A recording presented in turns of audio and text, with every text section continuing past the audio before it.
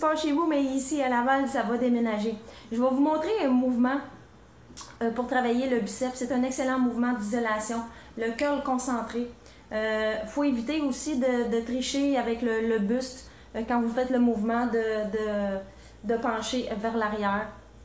C'est un mouvement que vous allez gagner en masse musculaire et cible principalement le brachial court long puis le brachial intérieur. Euh, c'est un exercice qui est hyper efficace pour vraiment euh, définir le bras, définir le bicep puis gagner en masse musculaire. son exécution, je vais vous montrer comment le faire. Alors, vous prenez un poids comme ça ici.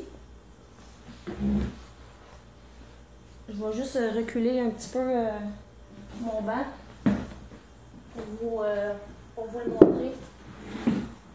Comme ça ici. Alors, vous prenez le poids et haltère, vous l'accotez. Ah, on ne voit pas encore. Attendez. Je vais placer mon matériel. Hein? Ça, c'est une chose, là, quand vous tournez des vidéos, là, placez votre matériel avant. fait que vous prenez votre poids, vous l'accotez sur votre. Euh, je sais pas si on peut. Je vais faire ça comme ça ici vous l'accotez ici dans votre, euh, votre entrecuisse et non sur la cuisse. OK? Euh, excusez pour le, les, pouces, là. Fait que vous l'accotez ici dans la cuisse. faut tenir le poids perpendiculaire au sol. Comme ça ici. OK? Fait que vous relevez comme ça ici. Alors, vous travaillez toute la région du biceps. Comme je disais, il ne faut pas faire ça comme ça. Si vous faites ça comme ça, c'est parce que la charge est trop lourde. Fait que vaut mieux prendre une charge euh, moins lourde, mais vraiment exécuter. Le but, c'est vraiment d'exécuter la technique. Euh, quand vous prenez trop lourd, là, ben là, vous soignez de même, puis là, c'est les articulations qui travaillent et non euh, le muscle du biceps. Alors, vous accotez votre. C'est comme un genre de levier.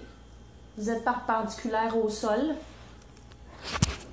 comme ça ici, comme ça, et vous relevez le poids, tout simplement. Ah, là, on a une bonne angle, comme ça ici. Vous pouvez le faire aussi sur un banc incliné.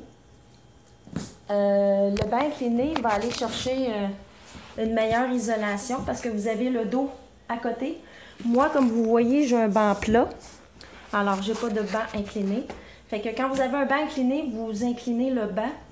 Alors, votre dos ne bouge pas.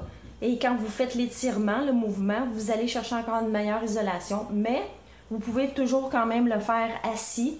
Comme je disais, le coude à côté dans la cuisse. Il faut être perpendiculaire au sol. Et il faut remonter l'altère euh, jusqu'ici à peu près. Comme je disais, il ne faut pas tricher. Il ne faut pas se donner un swing avec le buste. Alors, j'espère que vous pouvez faire des séries de 3 x 15. Alors, j'espère que vous vous lâchez pas. Puis, euh, je vous dis une prochaine. Puis, surtout, n'oubliez pas, là, c'est vous qui êtes les champions. Puis, je dis tout le temps dans mes, dans mes vlogs, vivre, c'est un privilège. Prenez ce privilège-là. Faites-en ce que vous voulez. Mais bougez. Ciao. À une prochaine. Good. Je vous mets des petits exercices à la fin.